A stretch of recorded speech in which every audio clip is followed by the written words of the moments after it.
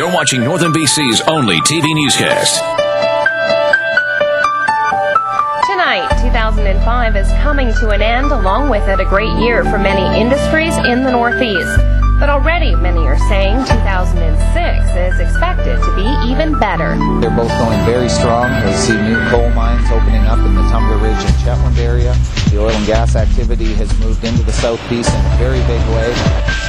Also tonight, on the election trail. Much as I'd like 10 days off, most people don't get 10 days off at uh, this time of year, and I thought it would be appropriate to do a little bit of work. Plus, I'm not sure I can sit still for the whole time. It's only a couple of days after Christmas, and it was back to work for many of the party leaders.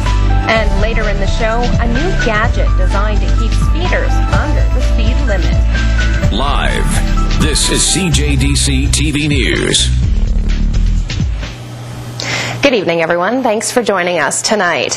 Emergency crews were kept very busy over the Christmas holidays.